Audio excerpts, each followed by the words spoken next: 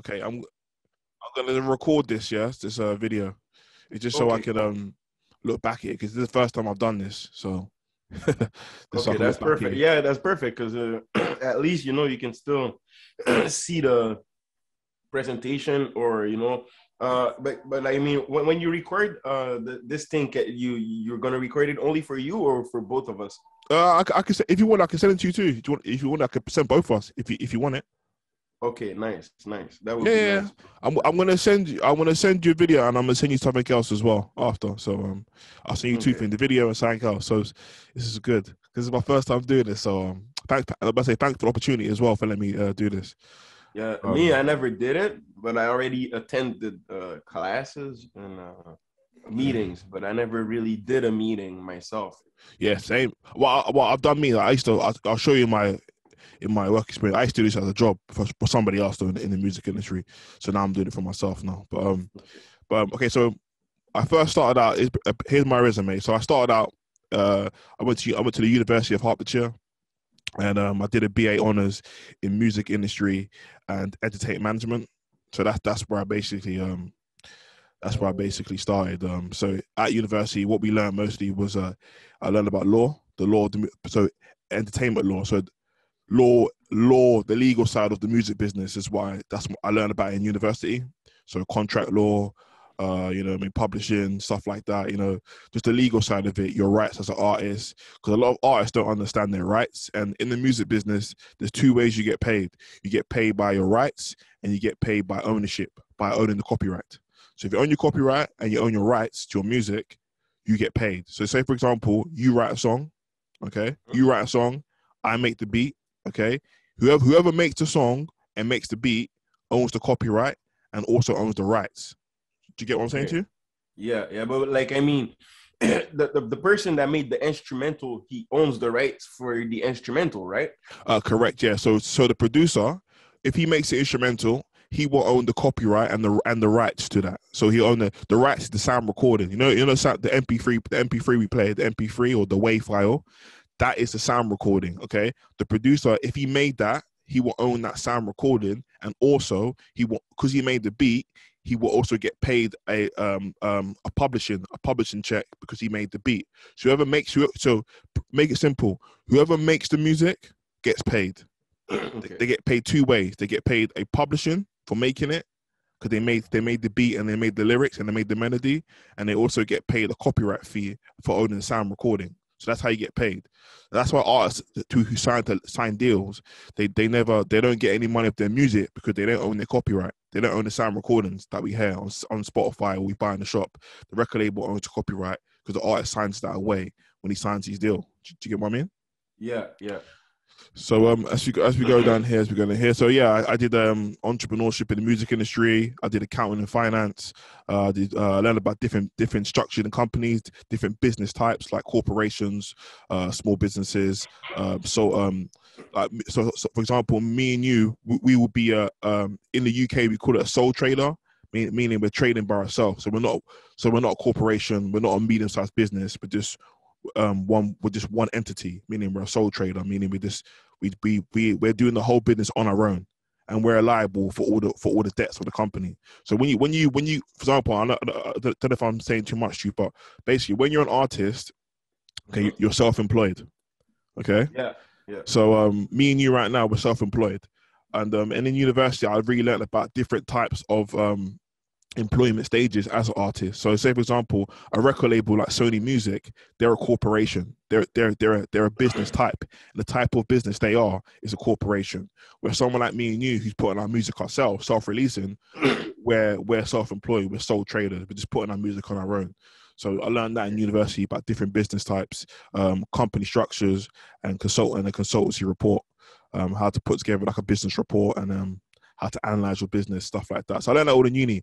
So after university, where I got got the knowledge, I went and worked in the music industry, and I got my uh, real first job in the music industry. I was a music. Uh, I basically got in the music licensing side of music, the licensing side. You know, the, the copyright side, the publishing side. I actually worked for a company that I worked for a performing rights organization called PRS for Music.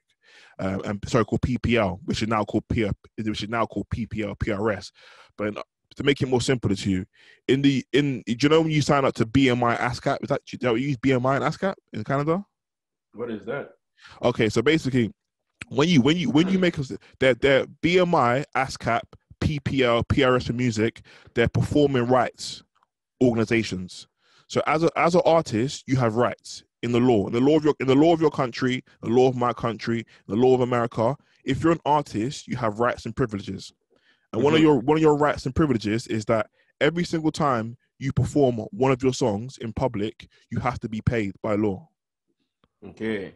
Yeah, artists don't know this. They don't. They don't know this. I didn't, I didn't even know that. No, no, no one knows this because no, they don't tell you this. I, I only know this because I, I like I just researched. I went to uni and I learned about it and I worked and I worked in the business. I worked. This is my job. you know what I'm saying? So when yeah. I was in my job, even when I had the job, I still didn't really know it because I didn't really understand. I didn't, I didn't really understand all of it. I was, I was a lot younger back then, so I, I, I was doing my job. You know, I'm gonna be real to you. I was doing my job, so I didn't really understand really that much of it until I got into the role. But yeah, when you're an artist, you have to be paid. It's called a performance rights performance mm. rights yeah, so you have performance rights. Okay, so every time you perform a song, you will have to be paid a royalty for that in public okay. though, because anytime, but that's if you own the copyright. Okay, if you don't own the copyright, then you then you don't get paid. But actually, but the crazy thing about about, about, about your, about your perform your, your performing rights, even if you don't own the copyright, you still get paid a performing a, a, a royalty for for performing the song you know what I mean? Yeah, so yeah. performing rights is all about when you perform a song, but it's also when your song is played anywhere in public. So anytime your song is broadcast in anywhere in public, you have to be paid. So if they play your song in a shop, they have to pay you. If they play your song in a in a in a, in a hospital, they have to pay you. If they play your song on the radio, they have to pay you. If they play your song on um on a TV show, they have to pay you. Anywhere that song is used that you own, you have to be paid a royalty. That's that's a performance royalty. So they don't tell you that. So record labels don't tell you that because they get the they get the money from you, you know. Yeah, yeah, they're stealers, bro. They're stealers. Yeah, that's what they are. Their, their whole business is based on stealing and robbing you, basically. Because they all they do is market, promote, and advertise you. That's it, and fund. And they don't really fund you. They're more like investing in in that in you because they're investing in themselves to make money from you. You know what I'm saying? Yeah, yeah, that's crazy, man. It's that's the industry. So when I worked in the in the in the in the music uh, and the in the performing rights side of the music business, um, mm-hmm. I was dealing with uh, B2B customers. I use I use copyright law to collect payments from our members, from our customers. So basically, a lot of our customers were like uh, B2B clients, like uh, football clubs. Uh, you know, what I mean, like big um, Subway. Subway is Subway is one of our, one of our customers. So Subway will call in, and then what what they have to do they have to pay us a license to use the music to, to use the music in their business and then from that license we'll then pay the artists that were our members do you get what i'm saying yeah yeah so if, if you signed up to ppl or i don't know canada i think in canada it might be uh, bmi or ascap if you sign up to bmi or ascap and then you start you start doing a lot of live shows you get paid a royalty for doing for doing those live shows and then we we will go out there and make sure that anyone that's playing your music has to pay us a license, and from that license fee, we'll then pay you a royalty.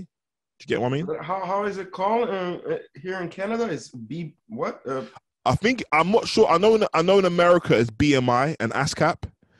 Okay. So it, it, all you gotta do is just um, take take take down the notes and just write down uh, Performing yeah. Rights Society in Canada. Performing Rights Society in Canada. Okay. Okay, and then um, just write that down, and then Google that, and then it'll, it'll, let you know which one it is. So anytime you write your songs, they have to pay your royalty, um, because you own your, cause you're, by law, you're owed a performing right. You own a you own a performance royalty for when your songs are played or broadcast publicly anywhere. Is okay? this the same company that um that will give me um uh, the copyrights to my songs? Oh no no! So once you when you're independent artist and you write a song, you own the copyright automatically. Oh, I didn't know. Okay, that's, that's yeah, cool. That's, that's yeah. Cool. So anytime, you anytime you write a song, you own the right to the lyrics. Okay. Anytime you write a song, you own the right to the melody. You own that automatically because you're the author.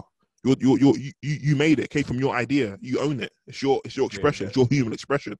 You own that.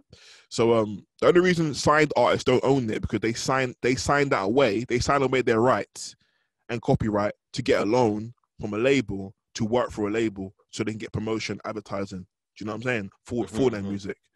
So that so that that's that's why you don't know about it. So, but when you're an independent artist, you have all these rights, you have all these privileges, and a record label makes billions of dollars because of your rights, because they own your rights and because they own your copyright. That's it. Because once you own, once once you uh, once you once you make a song and it becomes popular, if you own the rights to that, that song every single time that song is getting played, you're getting paid. So you're doing nothing. You're getting paid. That's Okay, what. that's It's, nice. yeah, it's basically like a- a- asset money. Ass- It's asset money. It's like um hedge fund money. You know what I mean? Like you don't you, you're making money when you sleep, basically. Yeah, So um that's that's that's that's the goal, man. yeah, that's, that's, what I'm saying. But now, Yeah. um, but sorry, but now it's possible because before you couldn't market, promote, and advertise yourself. Before there was no way to, to do that. Only way to really do that was going for a record label. That's why they had so much leverage and so much power and authority over artists because the only way to make your copyright valuable, the only way to make people know about your music is through is through promoting it, advertising it, and marketing it. And then Yeah, you know because in mean? the nineties there wasn't really like um, real internet platforms, you know. Yeah, there wasn't YouTube and stuff like that. It was Yeah, just- correct. In the nineties, all they was MTV, uh, video TV, the box, video TV, and then radio. That was it. So Yeah, it was. It, you're not gonna get there. There's only two ways, and record labels controlled it. You're only gonna get airplay if you go through them. But to go through them, you gotta give away your rights. You gotta give away your privileges. You gotta give away everything. okay, It's yeah, not worth it, man. So I learned that, and then so after working in that side of the music business, I learned about the rights, the put the importance of rights, and that wow, an artist has all these rights and all this like privileges, and we don't know about it. So I thought I got I to let people know about this because this is this is not fair. So after that, I, I took my my last job before I went on my own thing. Was um, I worked in the music industry, but I worked for a YouTube company that um, helped artists make money from ads on YouTube. Mhm. So my, my goal was to sign art in independent artists that were doing cover songs at the time, or any independent artists or signed artists, and bring them onto our network, and then we we we would help them make more money from their from the advertisements on YouTube. Um, Uh, that's my job. YouTube ads, it, it, it works well. It does, yeah, it does work, yeah, yeah. So we had the client. One guy I signed, he's making he's making over a hundred pounds, two hundred pounds a month, sometimes three thousand pounds, you know, up from from from YouTube ads. You know what I mean? Because it's all about how many views you get and how many people. It's all about how many views you get and how many what type of ads you have on there. Say for example, some ads on YouTube you can't skip them. Okay, Mm. those ones, those ads pay higher. They, it's called CP. They call it C. You should write it down. It's called CPM or CPU. CPM. Yeah, it's a cost per site, but it's called CPM. Basically, that's how much you get paid per ad. so- Okay. The ad, the advertisements that are like thirty seconds that that you can skip, they pay less, but the ones you can't skip, they pay much more. And it also depends what country you're in. So in America, UK, Europe, European countries, they pay more for advertisements. Advertisers pay more. Mhm. Some countries they pay less. So it all depends. But me personally, after working in that field, working in that job, I wouldn't look at that as a way to make money. I would look at that as a way to make great content. And the money, any any money, any money that comes from that is just a bonus. You know what yeah, I mean? yeah. It's more for it's more for um uh, like uh prom- promotion. Correct. Yeah. Correct. It's more for promotions, more for branding. It's more for building engagement. It's more for building your community. It's more for providing value to your fans. You know what I mean? Now you can actually market and provide value to your fans yourself. If you do that well, money will come in other ways. You don't have to worry about ads. Ads because they don't really pay that much. Like if you get like a million views, you're gonna get like a grand, two grand. It's not that good money, man. Like, Yeah, Like, it's just for, extra- for, for the for the number of views. It's not it's not it's not a great number of It's- money. Nah, it's, great it's amount not. You're not gonna. You're not gonna make a living off it. It's just. It's one of those things. Is it's bonus. You know, it's a bonus if you do make money off it. But it's another way to make money and funding. So um, in that job, I worked for. I worked for some big artists. I was. I was managing the rights for Pink Floyd. Have you heard of Pink Floyd before? Pink Floyd. Uh, no, I never heard of them. Yeah, even me. I'm not gonna lie. See, even me. I didn't know who they were until I got the job. I'm not gonna lie to you. innit? Yeah. And then, but they were one of the biggest artists ever. Like they're like okay. they're like sold like oh, like hundreds of millions of albums. They're like if you type in Pink Floyd, you'll see how big they are. They're like um, they're like yeah. famous, famous, like one of the biggest acts in the music industry of all time. Um, or I also worked with a guy called Phil Collins. I worked with his um, basically I, I used to help protect their online their online yeah, rights Phil on Collins. YouTube. Yeah, Phil Yeah. Collins. You of Phil Collins before? Yeah, yeah, I know, I know Phil Collins. Yeah, yeah, um, yeah. I we, um when I worked for Leica, the company I worked for, I was managed. um I had to protect his digital rights. So my job was to make sure that really all, all we really did was I make sure that anyone that was uploading any Phil Collins music, any Pink Floyd music, my job was to take the videos down to make sure that all the traffic will go to their original channels on YouTube, so they'll make more money. Okay. So you get me. So anyone, so anyone who's uploaded any Phil and anything Phil Collins that that that Phil Collins can't, um didn't didn't upload himself or his label didn't upload himself, Warner didn't upload themselves. Our job was to make sure that anyone that's uploading any Phil Collins or Pink Floyd um music or videos without their permission, my job was to take those videos down. So so when so then anyone that was searching for Phil Collins uh, music would only find it on Phil Collins' official YouTube channel. So that way, it would help Phil Collins and, Phil, and Pink Floyd make a lot more money, and that's what we did. We, make, we had to make thousands upon thousands of pounds, um, you know, every single freaking yeah, I just seen he had he like I just seen one of his videos is at 10 million views. Yeah, and we and that's and what we obviously because Phil Collins has he has a lot of fans. He's he's been he's got a lot of fans. That's at least. He's, he's like he's he, with, with, with those type of views for sure he's getting money with that. Oh, get, oh, get money, yeah. Every every month you get money. I see it, thousands of pounds, bro. Fifty thousand pounds, sixty thousand pounds. You know what I mean? Yeah. Maybe sometimes even more because they're very big. But don't forget, these guys are like the biggest in the industry. These two guys. You know, if you can, if you combine their sales together, it's probably these quarter of a billion sales. If you if you combine them together, you know what I'm saying? So uh-huh. these guys are like they're bigger than Jay Z and Kanye West. These guys, man, like way bigger.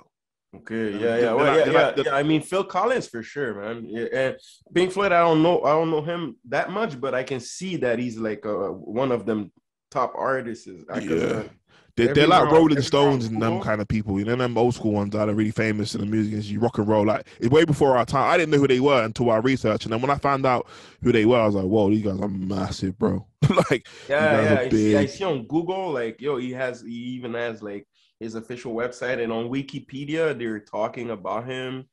Uh, they're they're group, everywhere. they're- everywhere. They're big. They're like what you find out. They're like they're like one of the biggest groups to ever come out of the music industry. Pink Floyd. They're like um Pink, but yeah, but that's what I did. I did their stuff, and um yeah. So from there, I just you know I also helped other independent artists with their with their. bro. I'm sorry. Yeah, that's sick. That's nice. Yeah, it's a journey though. Don't get me wrong, it's a big journey though. It was a big journey, and then after that, I did. I just didn't like working for people. I didn't like working in the music industry, and I didn't like working for people. So um, I started my own company. That's just me right there, little big head, uh, doing self entertainment. I was always I always had it as a brand for years now, but after like that job, I just wanted to work for myself and make it into actual business and make it to a brand. So um, and right now, what what I want to do now is I want to I want to teach um independent artists and uh, just peop uh, how to be in, in, in business for themselves, how to build brands, and let them understand the economics of of the of, of the music business of hip hop and of their Mhm. business, and so they can build a business for themselves. Because this is the first time ever Better, where better. independent artists can build a business. You couldn't build a business five years ago. Only really the last two years, is maybe even years, come around to this level where you can actually build a business for yourself because all the tools and resources, all the tools and resources are there. You can make a you can make a track in your house. You make a video in your house on your phone. You can upload it on your house. Yeah, it's to, true, man. To, Mhm, to the mhm. internet, so you can market yourself, promote, promote yourself. The problem is, is, is the knowledge. How do I do the marketing? How do I do the promotion? How do I do the advertising? And that's why you go to a record label because they know how to do that. So today's today's class, you told me your your three problems that you're having. So I put together a slide for you, basically discussing each point that you're having problems with, and so you can understand them better for yourself. And so when you leave here, you have a much better understanding on the problems that you're having right now. Do you get what I'm saying? Yeah. Okay. Yeah, So I'm gonna start the I'm gonna start the um starting now. I'm just gonna stop stop screen stop uh, screen sharing for the moment to make sure my um make sure my microphone is all plugged in correctly. It's just before I start. Uh, any questions before? Any questions? No, everything uh, seems all right, bro. Like I understand uh, most Yeah. of like everything, you know. So yeah, Okay, so you caught you caught everything, yeah? yeah, yeah, yeah. I, sure. There's a lot of stu- stuff I didn't know before, but like you know, like especially for the rights, the copyrights, and the company uh, um, for the um, um, you said you you were talking about like uh, the the performance rights and everything. I, I never knew about that before, you know. But um, now, bro, now, bro, uh, it's like I, I, I get it, and it's, it's it's it's it's even like a better opportunity for me, you know, because I think your microphone is closed now. I, I think your microphone is closed now because I can't hear you anymore. No, I don't hear you. Can you hear me now? Yeah, now I hear you. Yeah, Yeah, good. Yeah, I'll just, I'll just making sure it was on because um I still don't know. I'm sometimes with this microphone I'm still learning how to do it all. But but you can hear me now clearly now, yeah. Yeah, me too. I'm using a condenser mic for for for. The Oh, great, Zoom. great, great. Yeah. Okay, so we're gonna get this. We're gonna get this. Um, we're gonna get this show rolling now. So I'm gonna put the timer on because we've got half an hour to uh to uh to do this. I've got to make sure I do it in time because I'm still learning how to do all this stuff, brother. Okay, so I'm gonna get slide ready. Get slide ready. Okay, so I'm gonna I'm gonna share my screen with you. Uh, can you see my screen again?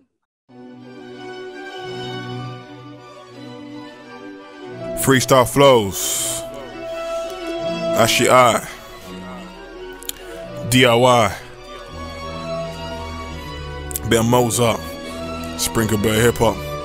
Do self entertainment. Welcome to my art gallery. Uh.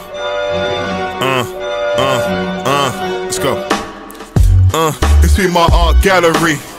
Real people can't you see, man, only spitting truth. Uh, this be my art gallery. Painting picture, can't you see, man? Up in the booth, uh, this be my art gallery. Painting picture, can't you see, man? Only spitting truth, uh, this be my art gallery. Real people rhyme with me, man, up in the booth.